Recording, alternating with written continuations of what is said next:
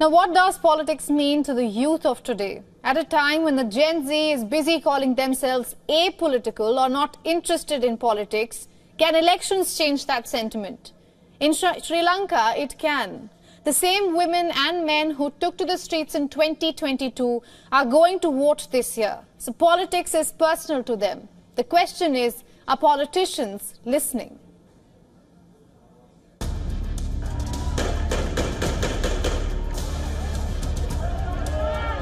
The 2022 protests in Sri Lanka were a turning point.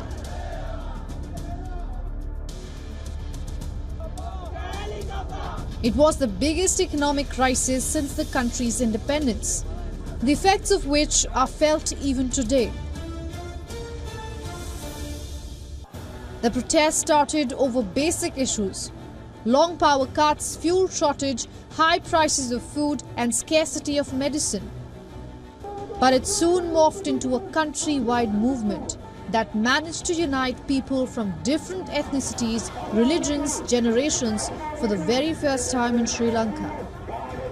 The Rajapaksa brothers tried to brand it as organized extremists, but the vocal youth on the streets did not let it work. Then came the fateful day of 13th July 2022. Young men splashing around in a pool inside the presidential palace.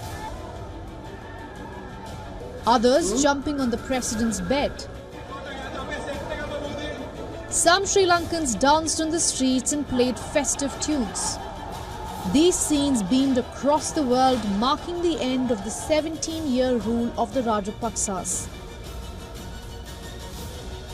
and the flight of President Gotabaya Rajapaksa from the country. The protest was named Aragalaya, the Sinhalese word for struggle. But has the struggle ended in Sri Lanka? The youth is staring at the question as this Saturday's election approaches. I'm voting because our people are helpless and I believe after elections there would be better governance in the country. All we want is to be happy. No, the people are not happy. The cost of goods is too high Taxes are also unbearable. All we want is for the cost of living and taxes to be reduced, so we won't be struggling as much. Youth make up almost a quarter of Sri Lanka's population. This year, among the 17 million eligible voters, the youth has been represented well, with an estimated 1 million of them being first-time voters.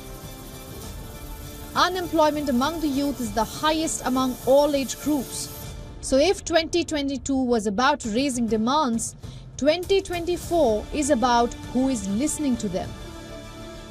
Many have found a leader in Marxist-leaning Anura Kumara Dissanayake, but not everyone is convinced of change, not even those running for this election.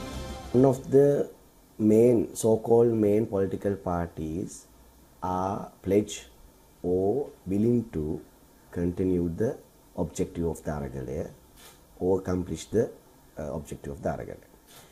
Uh, so thereafter, therefore, even after the election, whoever wins, the so-called uh, mainstream political parties, nothing will be changed in the society. There will not be a, a system change. It's very clear. Clearly, a lot is at stake this Saturday, especially for the youth. The privileged few have left the country, but those left behind expect accountability and action. Bureau Report, WION, World is One. For all the latest news, download the WION app and subscribe to our YouTube channel.